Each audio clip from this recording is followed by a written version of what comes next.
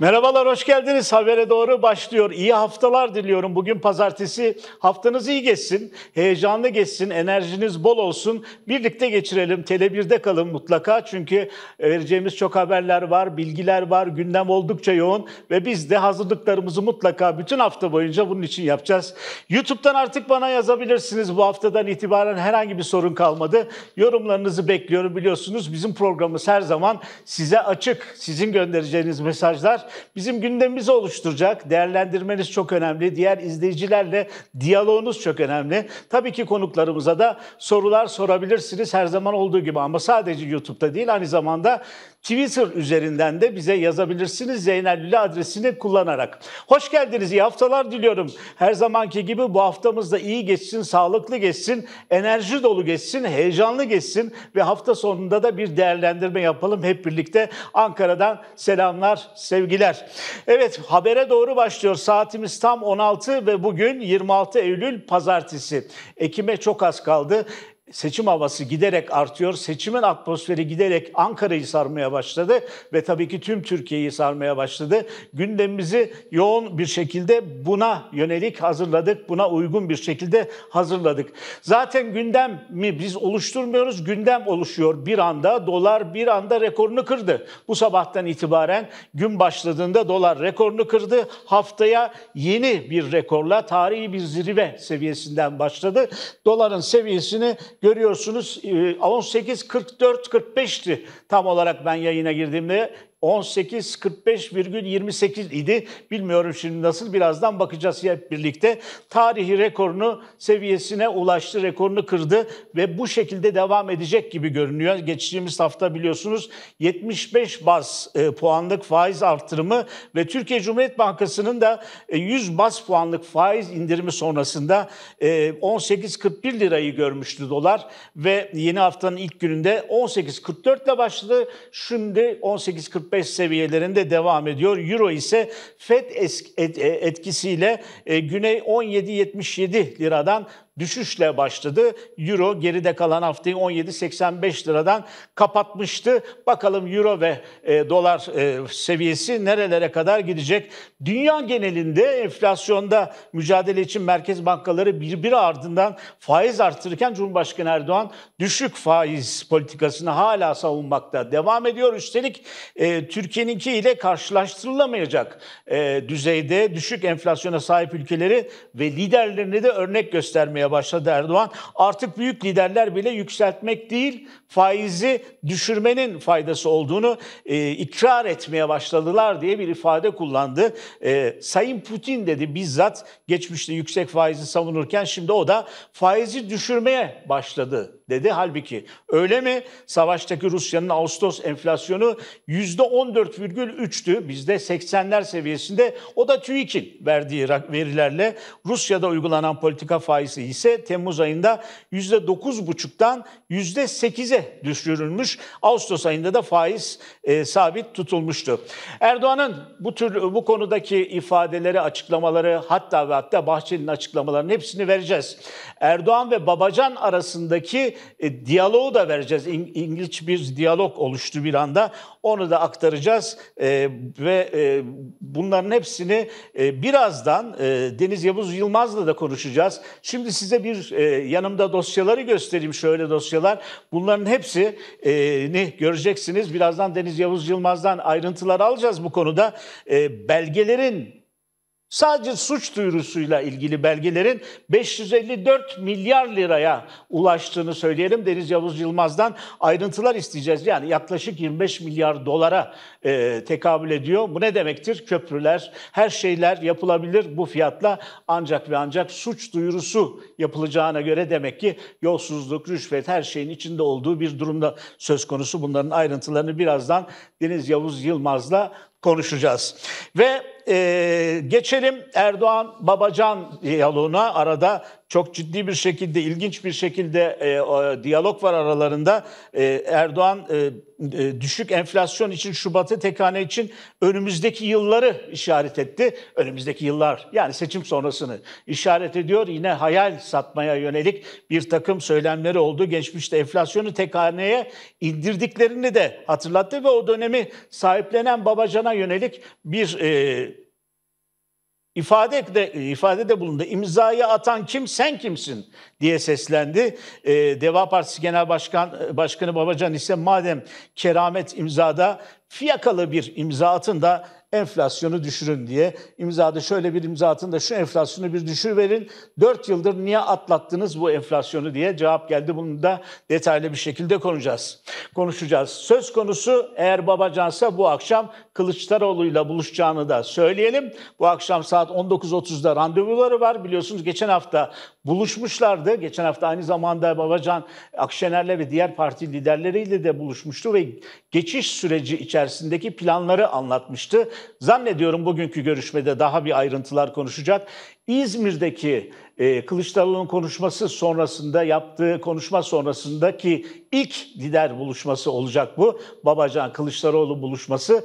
Neler neler çıkacak ortaya onun hepsini konuşacağız e, birazdan. Deniz Yavuz Yılmaz, Yılmaz bizimle saat birazdan birlikte olacak ve daha sonra da 17'den itibaren de Cumhuriyet Gazetesi Ankara temsilcisi Sertaç Eşi e, konuk alacağız. Onunla da iç siyaseti Ankara kulislerini konuşacağız. Bütün bunların hepsi 2 saat sürecek. Arkanıza yaslanın, kahvenizi koyun. Bana da mesajlar atmayı ihmal etmeyin. Gerek YouTube'dan gerek Twitter'dan lütfen e, konuşalım hep beraber. İçerideki yüksek enflasyon ve yüksek cari açık. Dışarıda ise güçlü dolar Türk lirasındaki e, değer kaybını oldukça hızlandırdı e, ve dolar TL bu sabah 18.49 seviyesini aştı. Şu anda 18.45,28 civarında yani e, dolar haftaya yeni rekorla başladı. Dolar TL kuru haftaya yeni rekorla başladı. Türkiye Cumhuriyeti Merkez Bankası'nın 100 bas puanlık faiz indiriminin ardından TL'nin dolar karşısındaki kayıpları sürüyor. Politika faizinin %12'ye indirilmesinin ardından 18,31 TL'den 18,40 TL'ye kadar yükselen dolar kuru 23 Eylül'de resmi işlem saatini 18,41 TL seviyesinden kapattı. Dolar yeni haftaya tarihi zirvesini yenileyerek 18,43 TL'den başladı. Euro ise Avrupa Birliği'nde zirvesini yenileyen enflasyon rakamları ve enerji krizinin etkisiyle değer kaybını sürdürüyor. 23 Eylül'de resmi işlem saatini 18 TL'nin de altına inerek 17,93 TL'den kapatan Euro kuru yeni haftaya 17,74 TL'den başladı. İngiliz hükümetinin 45 milyar sterlin hacmindeki vergi indirim paketini duyurmasının ardından İngiliz sterlini dolar karşısında 1,0350 ile tüm zamanların en düşük seviyesini gördü. Öte yandan yeni haftanın ilk işlem gününde Türkiye'nin risk primi 781 bas puana yükselirken 2 yıllık gösterge tahvil faizi de %13,99 seviyesinde.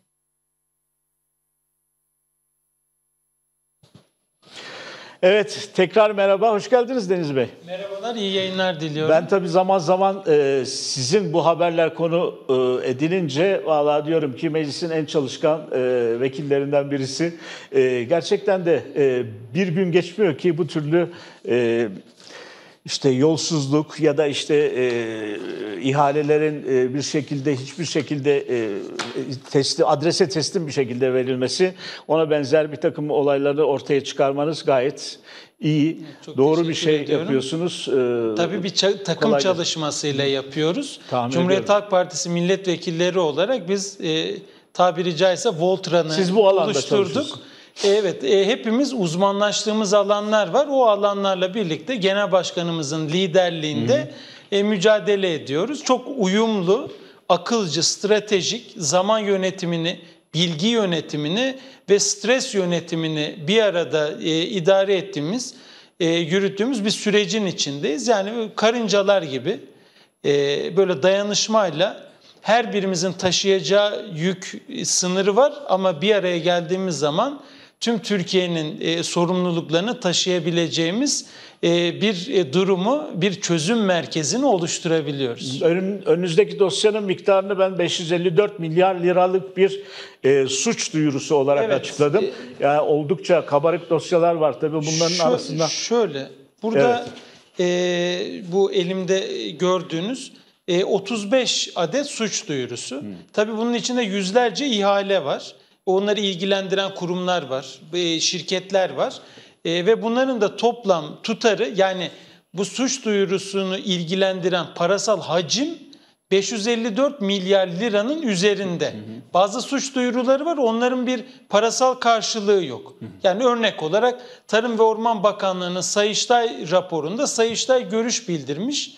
Demiş ki e, benim demiş hazırladığım e, bu rapor demiş e, maalesef doğru bilgileri içermiyor diyor. Yani içeremiyor çünkü talep ettiğim e, bilgileri, yönetim kurulu kararlarını, e, birçok kararın e, bize aktarmadı diyor bakanlık. Bu konuyla ilgili örnek veriyorum. Suç duyurusu da var ama parasal karşılığı yok. Olanlarla birlikte böyle devasa bir tutara ulaşmış durumda. Bunun ne kadarı doğrudan kamu zararıdır dersek belgesi belgeleriyle birlikte e, yaklaşık 175 milyar liralık bir kamu zararından e, bahsediyoruz. Bu kamu zararı da yani bunların hepsi belgelidir e, kamu zararı. E, bu kamu zararıyla da şu anda neredeyse diyebiliriz ki yap işlet devret yani AK Parti tarzı yap işlet devret modeliyle yapılan çeşitli köprü, tünel, otoyol gibi projeleri bir kez daha yapmak mümkündü. Sadece buradan eksiltilen tutarlarla. Kaldı ki bunlar bizim belgelediklerimiz. Yani süreç şöyle işliyor. Biz e, bu konularla ilgili kamuoyuna açıklama yaparken, yolsuzluk açıklamalarını yaparken bunları bir belgeye dayanması gerekiyor. Belgenin doğru olduğunu yani üretilmiş sahte bir belge olmadığını da kontrol etmemiz gerekiyor. Dolayısıyla da çapraz kontrol yapıyoruz, ikili doğrulama yapıyoruz. Böyle bir metodolojimiz var ve arkasından belgenin doğruluğu kesinleştiğinde de bunu açıklıyoruz. Belge doğruysa, yolsuzluk da böyle ortadaysa artık bir muhalefet partisinin bu konuyu getirebileceği iki son nokta var. Biri tüm vatandaşların bundan haberdar olmasını sağlamak, bir diğeri de suç duyurusunda bulunarak bunu hem kayda geçirmek hem de e, adli takibini yapmak. Bunun takibini de yapıyoruz. Kimi yaptığımız suç duyurularını ilgilendiren sözleşmeleri idare hapis cezası da doğuracağını gördüğü için e, sözleşme iptaline gitti, fesih etti. Kiminde ısrarcılar, kiminde tabii hem suçlu hem güçlü gibi e, durum da Durum oluştu. yaratıyorlar. E, dolayısıyla bu konuda da mücadelemiz devam ediyor. Ama iktidara geldiğimizde açıkladığımız, bugünden açıkladığımız vaatleri neyle yapacaksınız, hangi kaynakta yapacaksınız sorusunun yanıtı işte şu anda bugün burada masada sizin karşınızda duruyor. İşte burada çalınan, yolsuzluk yapılan e, ve kamu zararına yol açan çeşitli e, idari uygulamalar ve alınan kararları hem bu kamu idarelerinde sorumlu kişilerden hesabını sormak, e, aynı zamanda da bu yolsuzluk e, sürecinin içine dahil olan şirketlerden de bunları tahsil etmek için şu anda altyapı tamamen hazır.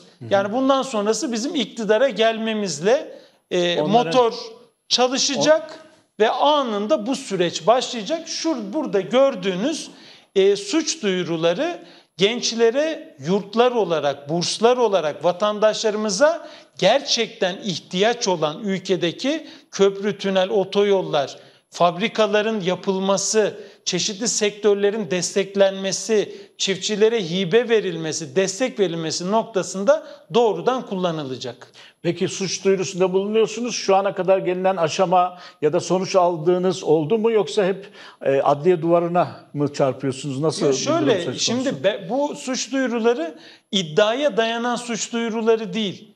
Bunlar belgeli suç duyurusu. Evet, yani ispatıyla birlikte yani şöyle ifade edeyim bir yerde bir cinayet işlenmiş. Biz onun kamera görüntüsünü götürüyoruz.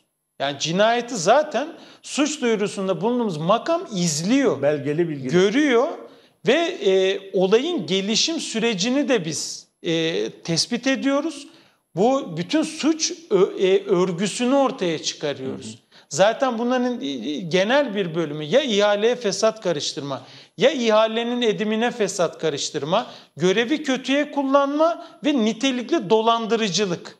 Ağırlıklı olarak bu e, suç isnatları var.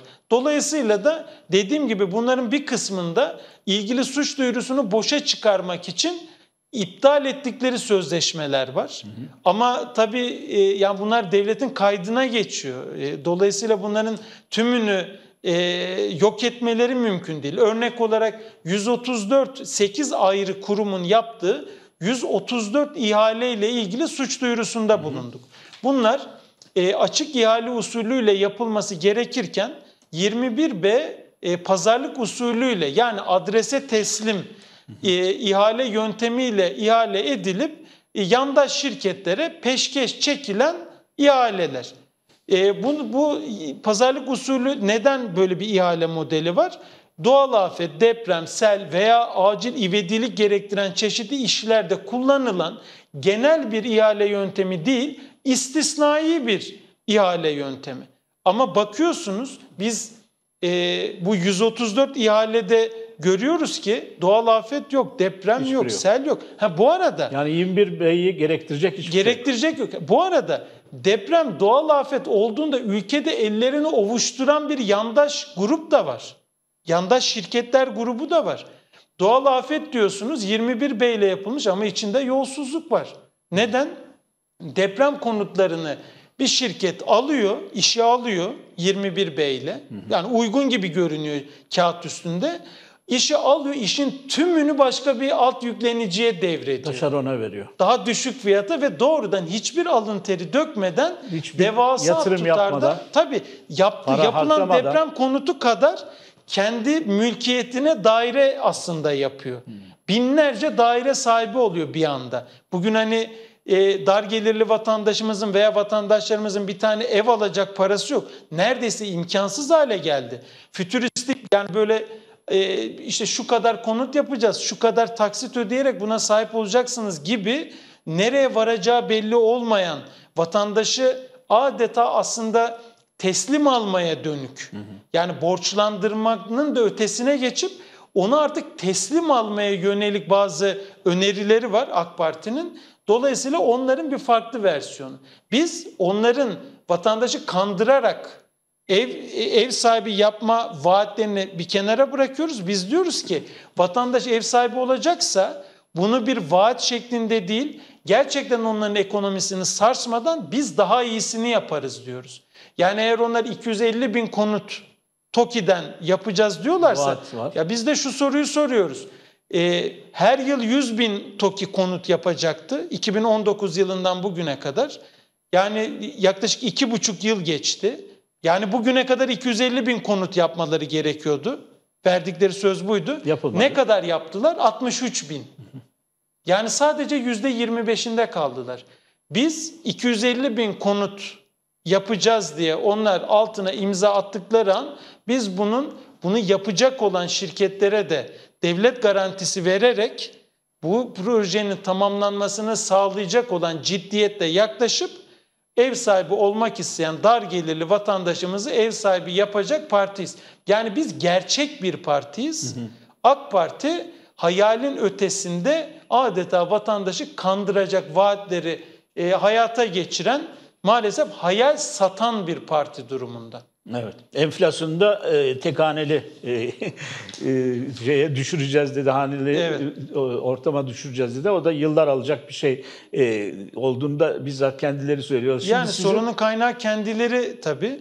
Hani zannedersiniz ki AK Parti şu anda iktidarda değil, bir iktidar eleştirisi yapıyor gibi. Onu da vaat ediyor, düşüreceğim diye. Ya. E ama çıkaran sensin. Yani son e, şuna baktık. 2005-2020 yılları arasında AK Parti'den en fazla ihale alan 11 şirketi çalıştık.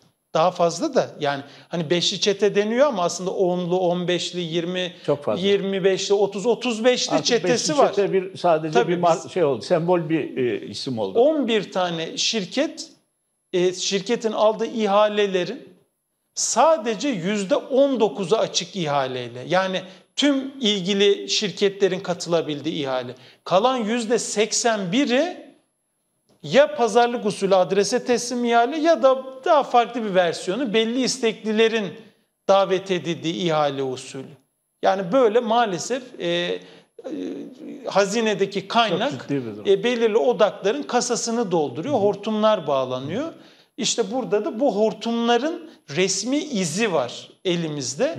Biz bunları suç duyurusuna da dönüştürdük. Dolayısıyla bu hortumları da biz keseceğiz ve kestiğimiz anda zaten e, Türkiye'de yaşayan yani vatandaşlarımızın yaşam kalitesi yükselecek Yani ve rahat bir nefes bunlara alacak. e, vatandaşla bölüşecek şekilde bir e, politika uygulansaydı e, şu anda belki yaşadıklarımızın hiçbirisi yaşanmayacaktı. Tamamen e, bazı kesimlere yönelik para e, akışı, hortumlanması gibi bir durum söz konusu olunca vatandaş e, doğrudan mağduriyet olarak ulaştı bu. Yani saraydaki tek adam aslında e, kurumlarda da tek adamcıklar oluşturarak sektörlerde de kendi adamlarını yerleştirip palazlandırıp yandaş şirketlerle birlikte sektörün kalanını batırarak, yok ederek ülkeyi bütünüyle kendi kıskaçlarına şu anda almış vaziyetteler. Yani baktığımız zaman e, bu kurumlardaki tek adam e, adamcıklar dediğim kişiler kurumların yaptığı ihaleleri dağıtan kişiler. Kapalı zarfların içini gören kişiler. Şimdi bu, buradan hemen ben hızlıca örnek vereyim. Birkaç örnek isteyecektim Birkaç ben de. tane evet vereyim. Çok örnek var. Biliyorum. Ben birkaç güncel örnek vereyim. Lütfen. Örnek olarak bakın Sayın Nadir Alparslan. Nadir Alparslan bakın burada evrakı da var. Cumhurbaşkanı kararı ile birlikte 2018 yılında Kültür ve Turizm Bakan Yardımcısı olmuş Nadir Alparslan. Aynı zamanda aynı Nadir Alparslan Kuveyt Türk Katılım Bankası'nın özel bir bankanın da yönetim kurulu başkan yardımcısı. Yani yönetim kurulunda. Neden yönetim kurulunda? Çünkü Kuveyt Türk'ün %18,72'si Vakıflar Genel Müdürlüğü'ne Genel ait. ait. Yani birileri çıkıp da ya o özel e, bir bankada yönetim kurulu üyesi bu niye sizi ilgilendiriyor? Niye ilgilendiriyor? Diyemezler. Çünkü kendisi aynı zamanda kamu görevlisi. Ve oradaki görevinden gelen güçle birlikte bir özel bankanın yönetim kuruluna girmiş. Peki bu yönetim kuruluna gir- girmiş de ne kazanç elde etmiş diye bakıyoruz. Bakın bu Kuveyt Türk Katılım Bankası'nın genel kurul toplantı tutanağı resmi belge. Bakın resmi belge diyor ki yönetim kurulu üyelerine diyor huzur hakkı olarak toplam 1 milyon yıllık 40 bin dolar huzur hakkı ödenir diyor. 9 tane yönetim kurulu üyesi var. Bunun da aylık karşılığı bu Kültür Turizm Bakan Yardımcısına huzur hakkı olarak Kuveyt Türk'ten 9629 dolar ödendiğini söylüyor. Kendisi aynı zamanda bakın burada da kamuyu aydınlatma platformundan aldığım belge diyor ki denetim komitesi üyesi etik bankacılık ve etik yönetim kurulu üyesi. Etik. Sanki kendisinin bu paraları alması etikmiş gibi. Bakın diyor ki tutanakta. Ayrıca diyor ücret niteliğinde olmak üzere diyor. Atandıkları ve seçildikleri komitelerdeki görevleri nedeniyle de toplam net yıllık 963.205 Amerikan doları ödenmesine oy birliğiyle karar verildi. Hepsi hemfikir. Evet. Yani buradan da payına aylık 8918 dolar Dolar düşüyor. düşüyor. Yani diyebiliriz ki AK Partili Kültür ve Turizm Bakan Yardımcısı Nadir Alparslan'ın bakan yardımcılığı aylık maaşı 53.800 lira. Kuveyt Türk Yönetim Kurulu huzur hakkı dolar üzerinden onu TL'ye dönersek aylık 175.547 lira. Yine Kuveyt Türk Katılım Bankası'nın yönetim kurulu ilave ücreti komitelerdeki e, mesaisi nedeniyle aldığı ücret 162.585 lira. Yani bir bakan yardımcısının bakan yardımcılığı ile ilgili olarak aldığı çeşitli görevlerden elde ettiği aylık gelir toplamı 391.932 lira. Yerlilik ve millilik nutukları atan AK Parti kendi bakan yardımcılarını dolar üzerinden gelir elde etmesini Maaşlandırıyor. sağlayacak bir yaşam oluşturmuş durumda. E bununla da kalmıyor tabii. Yani hani denilebilir ki bu böyle istisnai bir uygulama mı? Yani bir sadece Kültür Turizm Bakan Yardımcısı mı? Hayır. Bakın Maliye, Hazine ve Maliye Bakan Yardımcısı Mahmut Gürcan Evet. Kendisi aynı zamanda Türk Telekom'un yönetim kurulunda. Bakan yardımcılığı maaşı ile birlikte aldığı toplam tutar 94.418 lira. Diğer bir Hazine ve Maliye Bakan Yardımcısı Cengiz Yavilioğlu o da O da Türk aynı. Telekom'un yönetim kurulunda. Onun da aylık geliri 94.418 lira. Diğer Hazine ve Maliye Bakan Yardımcısı var. Yani zaten gördüğünüz gibi Yunus. Üçüncüsü o da çifte maaş, çoklu maaş. O TÜPRAŞ'ın yönetim kurulundan aylık 67.500 lira alıyor. Bakan Aldığı aylık geliri 121.300 lira. Dördüncü Hazine ve Maliye Bakan Yardımcısı var. O da Murat Zaman. O da hem bakan yardımcısı hem Petkim'den. Petkim'den bakın burada onun da evrakı şöyle göstereyim. Petkim'in genel kurul toplantı tutanağına göre aylık net 49 bin lira Petkim'den para alıyor. Aynı zamanda Murat Zaman Exim Bank'ın yönetim kurulu başkanı buradan da aylık 18.815 lira aldı. şöyle Baktık. toplam 18 bin e, 815. 815 lira alıyor ama bu rakamın içinde aynı zamanda her yıl yılda 4 ikramiye ödemesi yapılıyor Allah kendisine. Allah. Tabii. Hem dolar üzerinden alıyorlar. Hem yıllık 4 ikramiye de buradan para alıyorlar. Bu şekilde e, çoklu maaşa kavuşuyorlar. 121.615 lira onun maaşı tabii. 121.615. Ek, 4 yardım hariç tabii. Tabii. arada. Bak, yok, o dahil, O dahil mi? dahil olarak alıyor. Ee, diğer taraftan mesela Türk Telekom'un yönetim kurulunda Türkiye'de 3 tane Ulaştırma ve Altyapı Bakan Yardımcısı var. Üçü de orada. Üçü de Türk Telekom'un yönetim kurulu üyesi olarak aylık gelirleri onların da 94.418 lira. Kim bunlar? Ömer Fatih Sayan, Selim Dursun ve Enver İskurt. Onlar da orada. Şimdi diyeceksiniz ki Hazine ve Maliye Bakanlığı Bakan Yardımcılarının tümü çift maaşlı, çok maaşlı. Ulaştırma ve Altyapı Bakan Yardımcılarının tümü öyle. Çok maaşlı. Kültür ve Turizm Bakan Yardımcısından da örnek verdik. Şimdi gelelim bir de Tarım ve Orman Bakan Yardımcılarına. evet. Onlar ne yapıyor diye. Ormanlar yanıyor Onlara cayır var da cayır. bize yok mu demiyor mu Tabii, acaba? onlar- onlar? şimdi bir anda ormanlar cayır cayır yanıyor.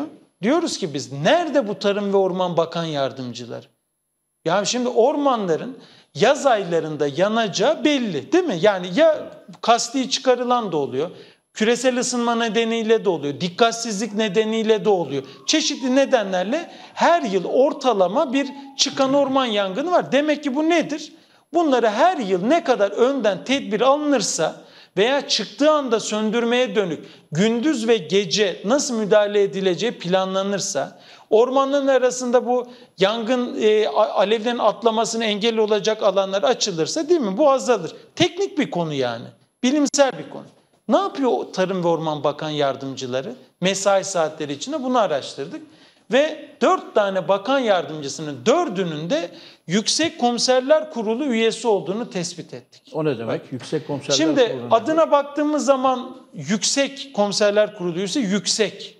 Nasıl bir görev olabilir? HSYK vardı eskiden. Hakimler, Hakim, Savcılar Savcılar. Yüksek Kurulu. Yani böyle bir kurul herhalde. Evet. Komiserler Kurulu yani e, kolluk kuvvetleriyle ilgili, güvenlikle ilgili bir kurul Şey mi olmasını bekliyoruz değil mi? Diye Bunların tümü değil. Ne peki? At yarışı ve müşterek bahislerle ilgili işlemler yapan Safkan İngiliz ve Arap atlarının soy kütüklerini inceleyen kurul. Bu kurulda. Dört tane bakan yardımcısı.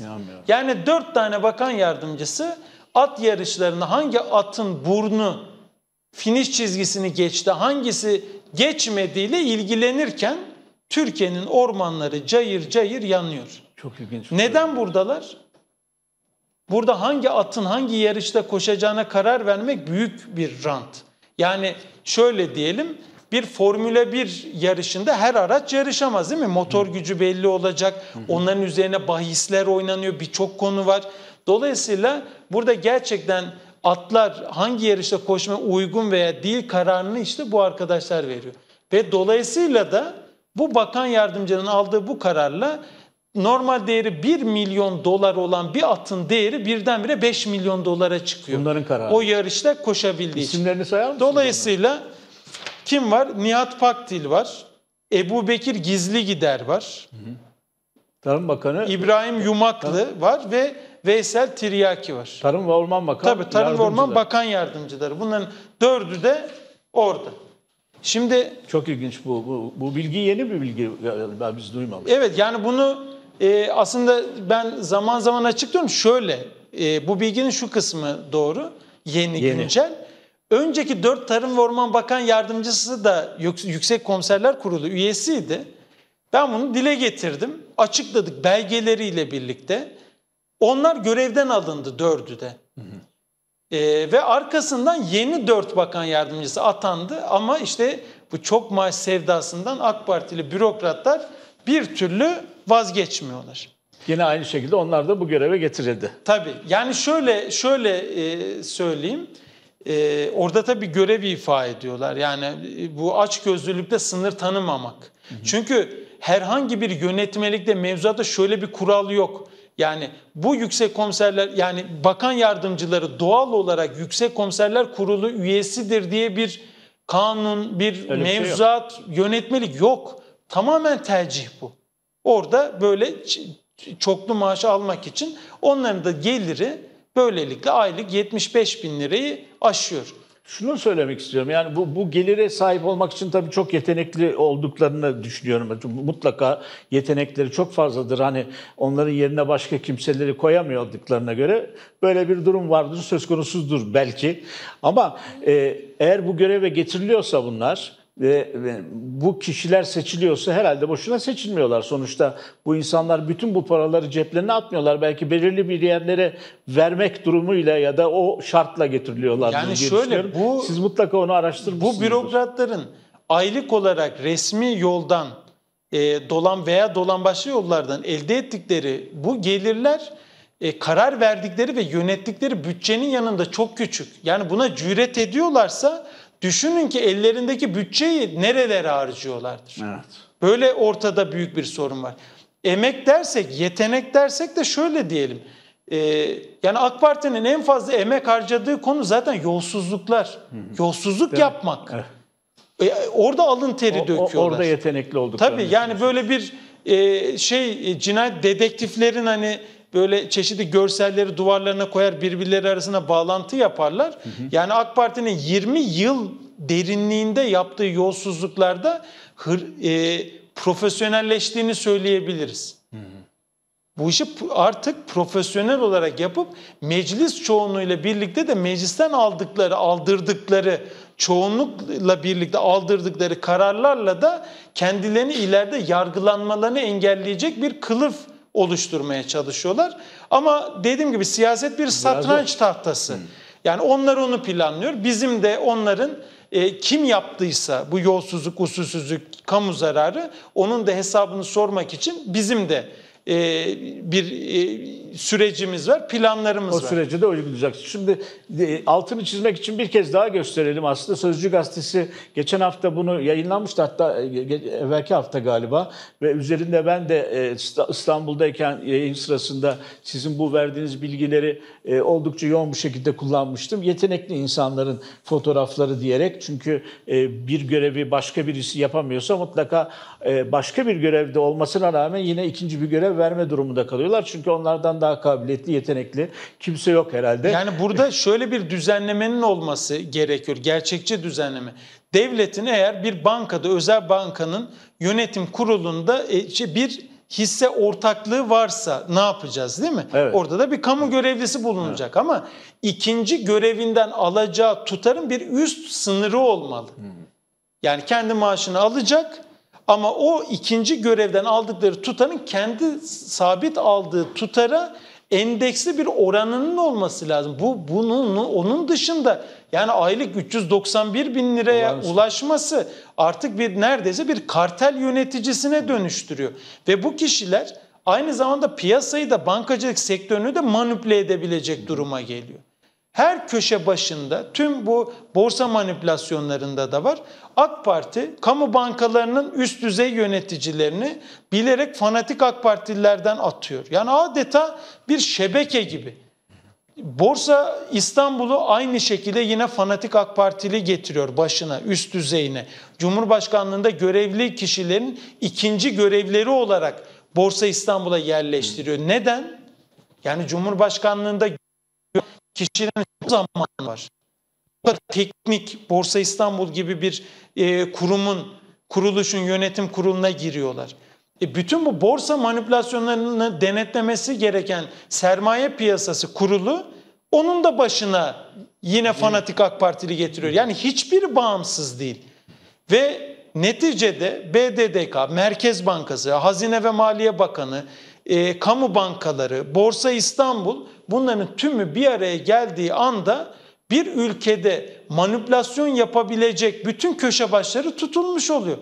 Ve bu andan itibaren AK Parti'nin ana iki tane e, yolsuzluk zincir metodu harekete geçiyor. Nedir bu yolsuzluk zincir metodu? Bunlardan bir tanesi saadet zinciri dediğimiz zincir.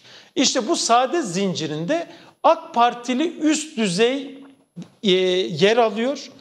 Bun- Bunlar e, bulundukları makamlardan çoklu maaş alıyorlar, TMSF'de görev alıyorlar, oradaki şirketin kayyumlarını atıyorlar ve, ve bunun gibi çeşitli gelirler elde ediyorlar. Bir saadet zinciri kuruyorlar. Aldıkları bir ihaleyi örnek veriyorum Türkiye Kömür İşletmeleri Kurumu diyor ki ben diyor benim iki tane iştirakim var diyor. Yani kendisinin ortak olduğu iki şirket kurulmuş. Ee, biri KİAŞ, biri de Yeni Çeltek ikisi. Ee, Yeni Anadolu Madencilik diye geçiyor. Birindeki hissesi yüzde 47, birinde yüzde 18 yani yaklaşık olarak söylüyorum. Yüzde 50'nin altında olduğu için Sayıştay denetimi yok. Diyor ki Türkiye Kömür İşletmeleri Kurumu. Ben diyor zaten ortağı olduğum şirkete diyor bu maden sahasını ihalesiz olarak verebilirim diyor ya. Benim zaten şirketin Zaten. ortağıyım. Veriyor ona ihale yok. O işi alan bu e, iştiraki diyor ki ben artık da özel bir şirketim diyor. İster ihale yaparım ister yapmam. Kime ne diyor? Bir yanda şirketi çağırıyor, sözleşme imzalıyor, kendi kar payını da alıyor, işi veriyor. İşi alan yandaş şirket diyor ki ben diyor niye ihale yapayım diyor. Başka bir yandaş şirketi çağırıyor. Tek damla alın teri dökmeden o da kuruş komisyonunu alıyor. Bu kim bunlar? İşte sokaklarda lüks arabalarla bu ekonomik krizde gezenler var ya işte bunlar. O da başkasına veriyor yine bir yandaş şirkete ve bir saadet zinciri oluş. En son işi alan yapan var ya sade işi yapan o da batıyor iflas ediyor zaten. Allah. Böyle bir şey. Dolayısıyla da bir sadece zararla değil raporlarda baktığımızda işte şu kadar kurum zarar etmiş diyoruz ya. Bazı kurumlar var belirli bir kar marjında görünüyor ama öyle büyük bir gelir kaybı var ki orada saadet zinciri. İkinci yolsuzluk metodu AK Parti'nin Titan zinciri. Yani ne yapıyor? Borsada küçük yatırımcılar var. Onları silkeliyor. Evet. Manipülasyon yaratıyor. Onları birdenbire fakirleştiriyor ve baktığınız zaman evet küçük yatırımcı ama 1, 2, 3, 4, 5 Yekün. onlardan gelen parayı topladığınız zaman piyasadaki bazı e, bu, bu rakamları da bir araya getirip devasa tutarlarda manipülasyonla bir anda müthiş zenginleşiyorlar. Bir yanı da bu. 20 e, 21 Aralık e, Türkiye'de yapılan döviz manipülasyonunu hatırlayın. Evet. Bir anda bir açıklama spot piyasalar yani vatandaşların dolar, euro alıp sattığı piyasalar kapandıktan sonra e, vadeli işlemler piyasası VIOP'ta birdenbire çok e, Cumhurbaşkanı'nın açıklaması ve onun üzerine BDDK, kamu bankaları, Merkez Bankası, SPK, Borsa İstanbul hepsinin işbirliğiyle birlikte doları birdenbire aşağıya çekip milyonlarca insanı e, aynı anda fakirleştirdiler. E, şirketi birçok şirketi batırdılar, borçlu hale getirdiler ve sektörlerde var olan kendi şirketleri hakim konuma geldi. Yüzlerce şirkette hakim. Tabii hakim konuma geldi ve onların mal varlıklarını birdenbire satın alabilecek bir güce ulaştılar. Dolayısıyla e, bunu bu yönde yani ana iki metotları var. Onun dışında sistematik olarak zaten AK Parti tarzı yap işlet devret e, modelinde yaptıkları usulsüzlükleri biliyoruz. Zaten dava konularımızda var. Hı hı. 4734 sayılı kamu ihale kanununa tabi konularda yaptıkları usulsüzlükler yine onlar da suç duyuru e, konularımızın içinde var. Hepsini biliyoruz, izliyoruz, görüyoruz, çalışıyoruz ve e, bunlarla ilgili dediğim gibi e, uzun zamandır e, karanlıkta e, onlarla satranç oynuyoruz. E, yani akıl dolu e, bir mücadele devam ediyor. Ve böylelikle de iktidara geldiğimiz anda önce bu hortumları kesip bu ülkeyi nasıl yöneteceğimizin altyapısını da kurmuş oluruz. Bir, Aksi takdirde altı delik bir kovaya ne kadar su doldurmaya çalışsanız o da olmayacaktır. Ee, bir 10 dakikamız kaldığı için sizden çok e, daha bilgi isteyeceğim. E, dolayısıyla bu en son attığınız tweet'i e, hatırlatacağım. O Formula 1 üzerinde Formula 1 otel ve konuk evinin konuk eviyle ilgili bir proje vardı. Evet. Onun yapılmamış olduğuna dair 2003'ten 2006'ya kadar o tamamlanacak denmişti. Değil mi? Evet. Öyle e, biliyoruz. O tweet'i de arkadaşlarım gösteriyor. İşte bu haritada e, gösterdikleri evet, bu güncel şey. E, uydu görüntüsü. Burası e, Formula 1 pisti. E, görüldüğü üzere. Kurtköy'deki. Evet, e, burada 2003 yılında yap işlet devlet modeliyle ihalesi yapılan İTO'nun İstanbul Ticaret, Ticaret Odası'nın Odası. kurduğu bir şirket. Yani onun büyük ortağı olarak kurduğu bir şirket. Bu şirkette e, ihaleyi alıyor bu e, projenin kapsamının içinde deniyor ki Vakıflar Genel Müdürlüğü al diyor sana arazi tahsis ediyor. Çok kıymetli bir arazi. Hı hı. İşlet buraya diyor pistini yap. 2023 yılına kadar da işlet, gelirini de elde et. İster kar et, ister zarar et. Gelirini de elde et. Ama diyor buraya bir pist, otel ve konuk evleri yapacaksın. 2023 yılında da bu e, tesisleri bana devredeceksin diyor. Ve burada Sayıştay raporu var bakın. Diyor ki Formula 1 pisti ihalesinde diyor öngörülen otel ve konaklama evlerinin yapılmadığı ve aynı zamanda cezai müeyyidelerin uygulanmadığı e, Sayıştay raporuna giriyor ve bu işin 15 yıldır geçici kabulü de yapılmıyor. Yani ortada böyle bir e, gariplik de var. Konuyla ilgili suç duyurusunda bulunduk. Bu kayıp otelle yeni ilgili. bu değil mi? Yeni. Evet bu yeni. Twitter'ınızdan ee, onu anlıyorum ben. Evet kayıp otelle ilgili görevi kötüye kullanma, edimin infasına fesat karıştırma ile ilgili suç duyurusunda bulunduk. Yani sade bir e, vatandaşımızın bir şirketi böyle bir ihaleyi almış olsa şu anda orada otel yapması gereken otel olmasa herhalde şu anda ya hapisteydi değil mi? Tabii. Ya e, darmadağın etmişlerdi ama yine korunan, kollanan kişilerin e, içinde Bu yer aldığı bir yapı. Korunan, kollanan kişiler kim? Yap yani örnek olarak evet mesela Formula İstanbul'un burada bakın 2003 yılından itibaren biz ticaret e, sicili gazetesinde ortaklarını çıkardık. Ortakların içinde e, işte Fazıl Mehmet Yıldırım var. Hmm. O e, Zekai Erez var, Zülfikar Tunç var. Yani bilindik isimlerden 2003-2006 yılları arasında Ethem Sancak Etek var. Sancak var. Evet. E, Şaban Dişli var. Hmm. Kadir Topbaş var. Orada o hisselerin içinde bir hissede İBB katılımı olsun diye koymuşlar ama hepsinin aynı zamanda denetim görevi var.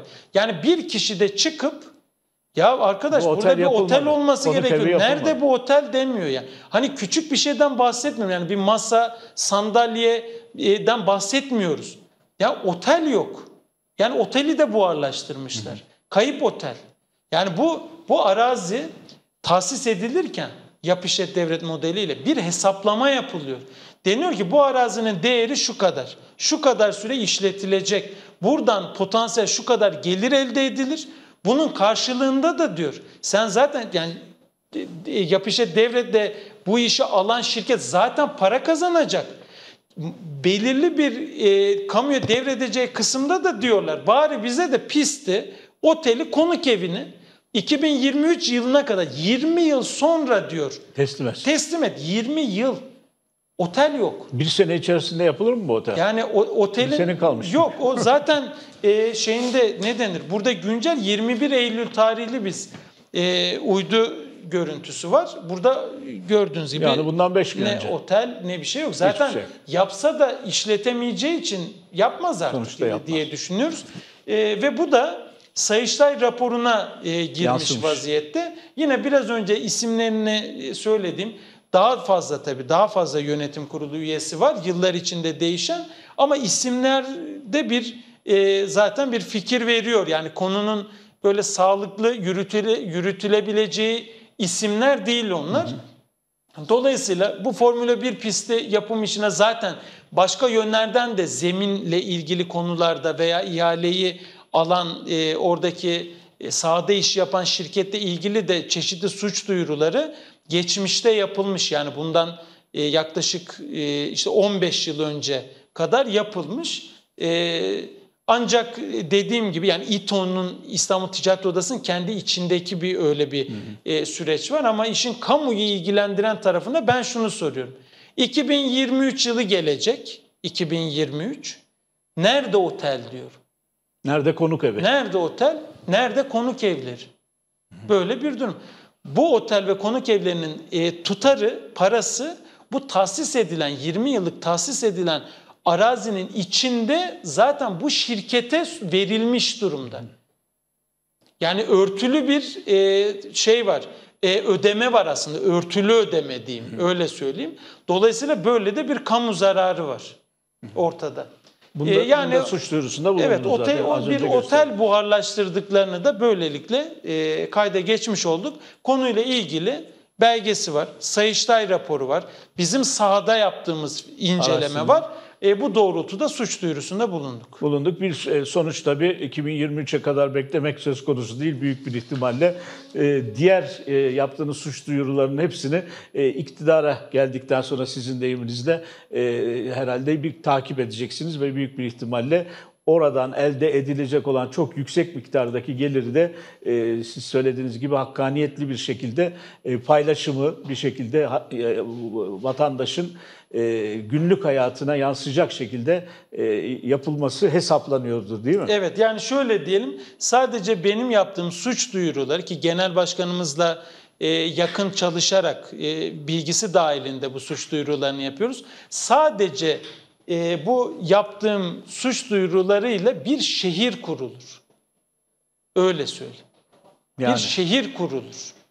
bambaşka bir, bir, Tabii. bir şehir ortaya çıkar diyorsunuz. Yani köprüler, otoyollar ya da başka bir şeyin dışında e, bir şehir oluşturulur diyor. Bir şehir yani şöyle ifade edeyim. Yüz binlerce konutluk nüfusun içine girebileceği, fabrikalarının kurulduğu, tarım arazilerinin olduğu hayal edin. Öyle bir şehir hayal edin. Öyle bir e, son teknoloji bir şehir kurmak mümkün. Ve diğer arkadaşlarımızın yaptığı çalışmalar var e, partimizde. E, onlarla birlikte dediğim gibi hepsi bir araya geldiği zaman işte Türkiye'yi aydınlık geleceğe e, kavuşturacak bir anlayışı da hep birlikte oluşturmuş oluyoruz. Dolayısıyla da biz e, sabırsızca, heyecanla e, bir an önce en yakın zamanda yapılacak seçimlerle e, Türkiye'nin, vatandaşlarımızın e, adeta bir geleceksizler ordusuna dönüşen e, gençlerin kaygılarını ortadan kaldıracak bu AK Parti'nin yarattığı kara bulutları e, ülkenin üstünden e, göndeririz diyorum. E, ve o nedenle de bütün vatandaşlarımızın da kiminin kızarak, kiminin isyan ederek ama kiminin içine atarak sandığı büyük bir istekle beklediğini biliyorum. AK Partili gibi görünen, yıllarca belki AK Parti'ye oy vermiş olan vatandaşların içinde e, sessiz bir öfke var şu anda. Çünkü kendi çocuğu kendisi iş bulamazken, kendi çocuğu iş bulamazken bir anda bu çok yerden maaş alan, aylık geliri işte 75 bin, 100 bin, 120 bin, 390 bin seviyelerine kadar ulaşan kişiler olduğunu artık biliyorlar. Belgeleriyle biliyorlar.